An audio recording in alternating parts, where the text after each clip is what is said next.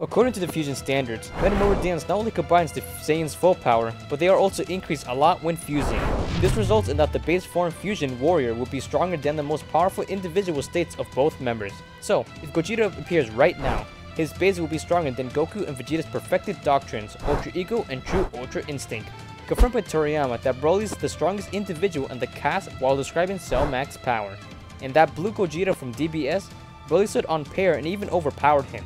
A hypothetical, Base Gogeta from DBS. Superhero arc will be enough for him the same as for Beast Gohan, who was not at Broly's level and because of the time at the movie's script was written. He was only superior to Blue Goku slash Vegeta from Broly's movie.